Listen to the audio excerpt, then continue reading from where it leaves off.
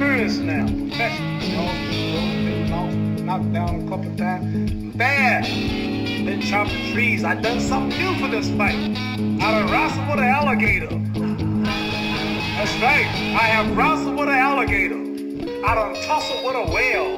I done handcuffed lightning, throw thunder in jail. That's bad. Only last week, I murdered a rock, injured a stone, hospitalized a brick. I'm so mean, I make medicine sick. Man, dude. Bad. Fast. Fast. Fast. Last night, I cut the light off in my bedroom, hit the switch, was in the bed before the room was dark. Yeah,